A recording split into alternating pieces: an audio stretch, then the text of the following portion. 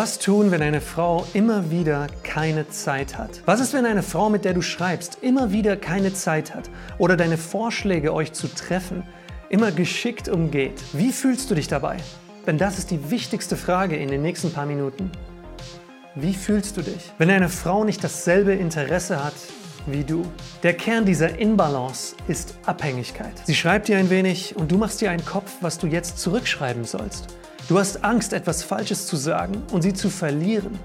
Du bist in diesem Moment von ihr abhängig. Wenn eine Frau dir nur wenige Zeilen schreibt, aber du einen Roman verfasst oder dich anders verhältst, wie du es bei deinen Freunden tun würdest, dann merkt dann merken Frauen das. Sie merkt diese Abhängigkeit. Der Schlüssel liegt darin, es deinem eigenen Unterbewusstsein zu sagen, dass du nicht abhängig bist dass du ein Mann bist, frei, ungezähmt, mit Begierden, mit einer Mission, die wichtiger ist als dieser eine Chat. Eine Grundregel ist, wenn du mehr schreibst als sie, dann bist du nicht du selbst. Dann versuchst du sie von dir zu überzeugen. Und wenn du sie versuchst von dir zu überzeugen, dann wirkst du unattraktiv. Und wir selbst zu sein, das ist nicht leicht. Vor allem, wenn wir vor einer wunderschönen und intelligenten Frau stehen, da werden selbst die erfahrensten unter uns ein wenig nervös. Dass wir ihr gefallen wollen, ist ganz natürlich. Und diese Nervosität ist auch Teil dieser gemeinsamen Geschichte, die du mit ihr schreibst. Aber damit du ihr nicht die falschen Signale aussendest, aus denen sie dann Rückschlüsse zieht, dass du von ihr abhängig bist, fasse dich kurz. Halte deine Nachrichten kürzer als sie und versuche sie knackig und emotional wertig zu gestalten. Du kannst dir zum Beispiel schreiben, Hallo, wie geht's dir? Oder na, wie geht's meiner Lieblingskomplize? Du merkst direkt, das eine sucht nach ihrer Aufmerksamkeit, während das andere Wert schenkt. Das eine gibt, während das andere nimmt. Bei dem höflichen Hin und Her werdet ihr beide keine wirklich spannende Erfahrung haben. Ihr werdet euch beide gezwungen fühlen, diese Unterhaltung irgendwie führen zu müssen. Und kein Mensch fühlt sich gerne gezwungen, weder wir noch sie. Aber bei der leichtherzigen, da kann sich ein Rollenspiel daraus entwickeln. Ein Rollenspiel, bei der ihr beide Bankräuber seid.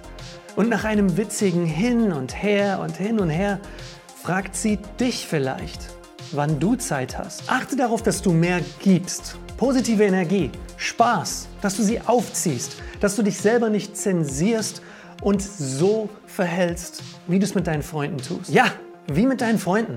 Trau dich mal.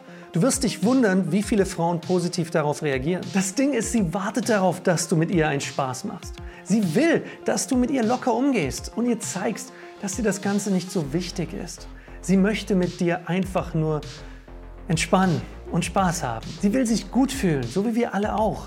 Und wenn jemand versucht, dich in ein Gespräch hineinzudrängen, das nur Informationen austauscht, dann hast auch du das Gefühl, dass hier irgendwas nicht stimmt.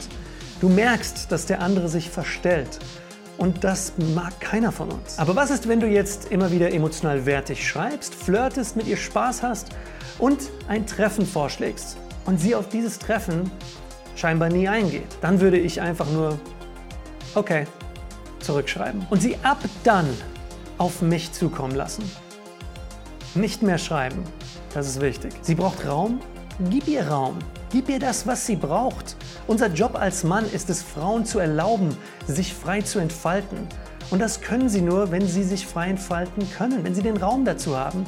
Und manchmal bedeutet das auf rein männlicher und weiblicher sexueller Ebene, dass wir ihnen den Raum geben, den sie brauchen, um auf uns zuzukommen. Dementsprechend schreib ihr nicht mehr. Überlass ihr doch mal den nächsten Schachzug. Sie braucht einen Beweis dafür, dass du nicht von ihr abhängig bist. Also zeig ihr das. Und in einer Minute verrate ich dir, was du sagen kannst, sobald sie sich jetzt bei dir meldet. Die Chancen stehen hoch, dass sie dann irgendwann doch von sich aus dich mit einem Termin oder einem Treffen, einem Vorschlag direkt anschreibt. Selbstbewusstsein ist an dieser Stelle A und O. Zeig ihr, dass du auch ohne sie gut zurechtkommst. Nur so funktionieren gesunde Beziehungen. Du würdest doch auch nicht einem Freund schreiben, warum antwortest du mir nie? Oder Würdest du dir den Kopf zerbrechen, warum er sich nicht bei dir meldet? So sieht auch keine gesunde Beziehung zwischen Mann und Frau aus. Eine gesunde Beziehung basiert auf gemeinsamer Unabhängigkeit. Ist, wenn du verkörperst, dass du sie willst, aber nicht auf sie angewiesen bist. Und wenn du dieses komische Gefühl in dir hast, wenn du mit einer Frau schreibst, dann bist du nicht unabhängig. Triff dich mit anderen Frauen. Und wenn du noch nicht so weit bist, dass du weibliche Freunde hast, dann triff dich mit deinen Kerlen, deinen Jungs, deinen Männern, deinen Freunden und deinen Brüdern. In der Flirt Masterclass wirst du in zwölf Wochen zu dem Mann, den Frauen wollen. Und dort findest du auch deine Bande an Mitstreitern. Wenn du dich informieren möchtest, wie dieses Programm aussieht, dann klicke hier. Wichtig ist, dass du sie nicht über dich stellst, aber auch nicht unter dich. Eine Beziehung auf Augenhöhe beginnt schon ab dem ersten Augenblick an. Wie redest du mit ihr? Von oben nach unten? Von unten nach oben? Oder leichtherzig und locker, wie zwei Kinder im Sandkasten? Dafür brauchst du kein Arsch zu werden. Die Mischung macht's. Wenn du sie magst, dann zeig ihr das. Schlag ihr ein Treffen vor. Bleib locker, bleib leichtherzig. Flirte mit ihr, trau dich. Und wenn sie nicht mitmachen sollte, dann mach dein Ding. Geh raus, spiel Fußball oder tu etwas, das wirklich wichtig für dich ist. Denn diese eine Unterhaltung mit einem Menschen kann nicht so wichtig sein wie dein Selbstwert. Wenn sie sich jetzt nach längerer Zeit wieder bei dir meldet und du vorhin schon einige Vorschläge gemacht hast, euch zu treffen, dann antworte ihr, du, tut mir leid, ich habe diese Woche keine Zeit mehr. Wir schreiben nächste Woche, vielleicht können wir uns da sehen. Und wenn sie dann nicht mehr auf ein Treffen eingeht, dann brauchst du auch nicht mehr auf ihre Nachrichten einzugehen. Diese Beziehung beruht dann nicht auf Augenhöhe. Und dann ist es völlig okay, loszulassen. Manchmal brauchen Frauen Raum, sich frei zu entfalten. Und das heißt, keine Antworten mehr von dir zu bekommen. Sie brauchen den Raum, um zu erkennen, ja, dass irgendetwas doch fehlt. Dass sie es vermissen, mit dir Zeit zu verbringen. Wir geben ihnen diesen Raum. Wir haben keine Ansprüche auf ihre Zeit. Genauso wenig wie Sie Ansprüche auf unsere Zeit. Wir sind auf Augenhöhe. Wir schätzen Frauen, aber wir verbiegen uns nicht für sie. Für niemanden. Wir machen Verführung oft komplizierter, als es eigentlich ist. Verführung basiert auf Unabhängigkeit. Und Unabhängigkeit ist attraktiv. Aus Unabhängigkeit kommt Selbstvertrauen. Und wenn ich dir dabei helfen darf, dieser unabhängige Mann zu werden, der souverän mit Frauen umgehen kann und sie verführt, dann klicke hier und ich zeige dir, wie du in zwölf Wochen zu dem Mann wirst, den Frauen wollen.